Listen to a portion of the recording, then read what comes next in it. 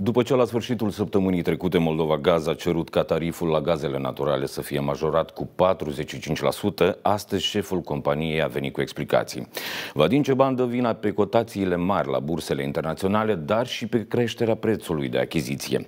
Pe lângă aceasta, furnizorul achită pentru distribuția gazelor, iar din această cauză suferă pierderi. De cealaltă parte, responsabilii din cadrul Agenției pentru Reglementare în Energetică susțin că solicitarea a fost supusă consultărilor lor publice și la examinarea ei vor fi luate în considerare toate argumentele.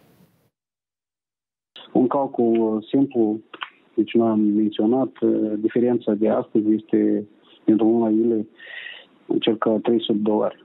Dar deja, vedeți, cotațiile la bursele internaționale sunt în creștere, respectiv în luna august nu așteptăm o creștere și mai mare a prețului de achiziție. De ce și-am solicitat, ăsta uh, a fost factorul de bază. Vadim Ceban susține că Moldova Gaz înregistrează abateri financiare, iar pe lângă toate mai are de plătit impozite și salarii angajaților. În afară de achiziție, adică costul achizițiilor uh, gazelor naturale, noi mai avem și de finanțat și activitățile noastre curente, din activitate care nu este legată de furnizarea gazelor, cum este distribuția gazelor naturale, transportul, întreținerea rețelelor, Uh, și respectiv uh, noi trebuie să, să asigurăm uh, întreținerea corespunzătoare așa cum privede, privede cadrul normativ.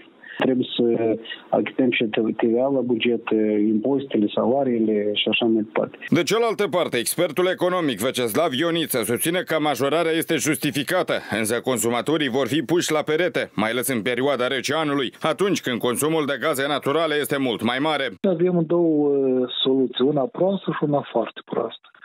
Soluția proastă că majorăm tariful, soluția și mai proastă când majorăm și acumulăm mai departe datorii.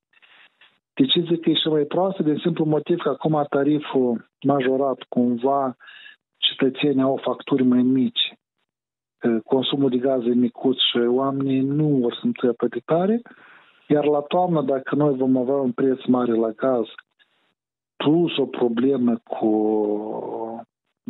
datoriile curente, eu cred că populația noastră va intra într-o dificultate foarte mare de achitare. La sfârșitul săptămânii trecute, Moldova Gaz a expediat o scrisoare Agenției Naționale pentru Reglementare în Energetică, în care a cerut să majoreze prețul la gazele naturale cu 45%.